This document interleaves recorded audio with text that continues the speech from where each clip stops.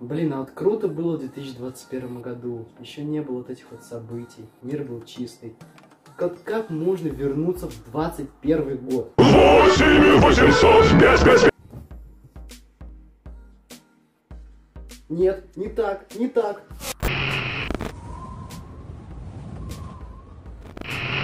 Всем привет, ребят! На YouTube активно я снимаю уже более двух лет, и за все это время я старался делать контент качественный, ну, относительно, авторский и, конечно, без постанов.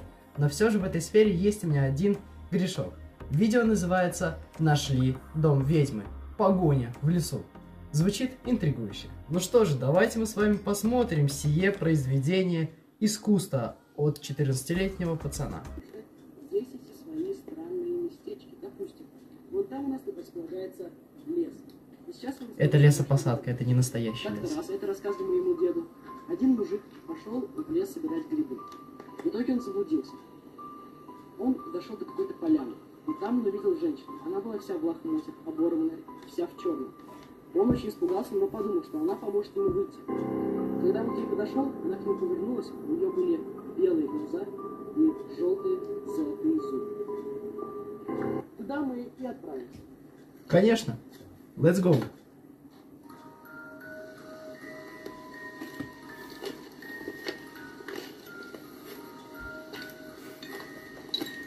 Мы идем по лесу.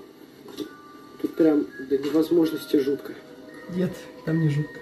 Это просто свалка, блин, уже какая-то, а не лес.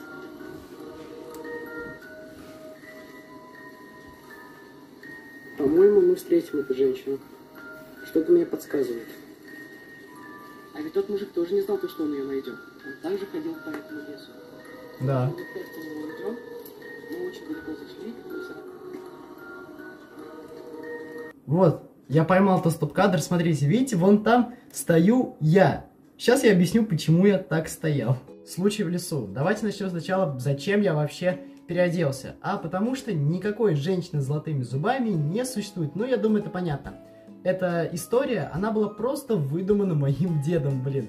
Он ходил тогда также вот в лес, просто за грибами сходил на часика два, и просто встретил там женщину, которой реально было несколько золотых зубов.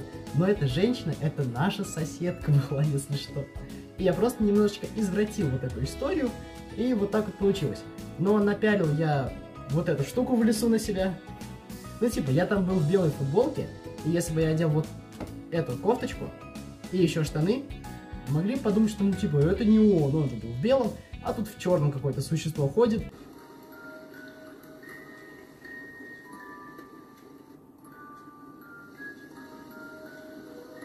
По-моему, мы заблудились. Мы уже минут 15 идем, а лес так и не кончается. О да, очень страшно. Очень страшно.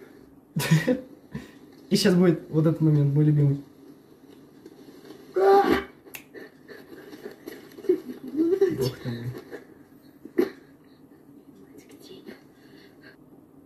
Вот с этого ракурса, вот я дофига рассмотрел, там реально жутко, там как будто у меня лицо белое полностью. Но на самом деле это не лицо, а просто лист, который в объективе камеры вот так вот закрывал мое лицо. А лица мне тогда не было видно, я просто эм, капюшон надел и вот так вот кофту еще сделал.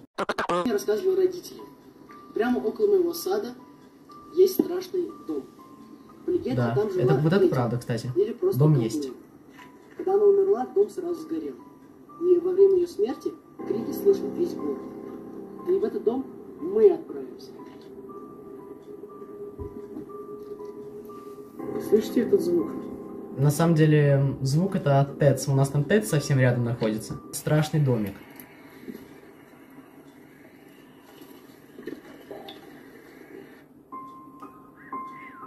Страшно.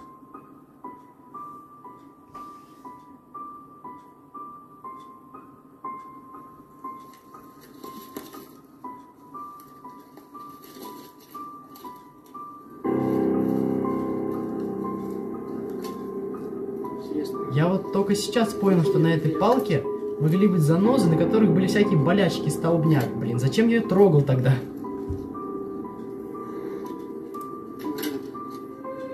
Это просто старинный заброшенный дом. И все.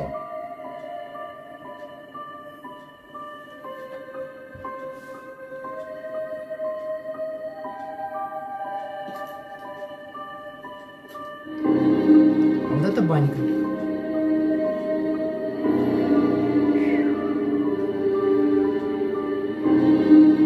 Сейчас будет скример, чекайте. Ну и теперь случай про вот этот дом, ну точнее кадр из видео про вот этот дом ведьмы. На самом деле, конечно же, никакой ведьмы там не было никогда и, наверное, не будет. Этот дом заброшен уже более 20 лет, и просто ни я, ни мои родители, ни моя бабушка с дедушкой не знают, кто жил в этом доме. И все. Я подумал, ну, прикольное место, и вообще просто я с детства хотел туда попасть. И поэтому вот придумал такую историю, типа, вот там жила ведьма, сейчас мы туда пройдем и все такое. И вообще этот домик, он не основной дом на даче, это баня. Типа вот весь этот дом это баня. Заброшенная старинная баня и все. А еще она лет 10 назад сгорела. На этом видео подходит к концу. Если вам понравилось, то, конечно, ставьте лайк, подписывайтесь на канал, комментарий с колокольчиком не забудьте. А с вами был я, Ультимейт. Всем удачи, всем пока.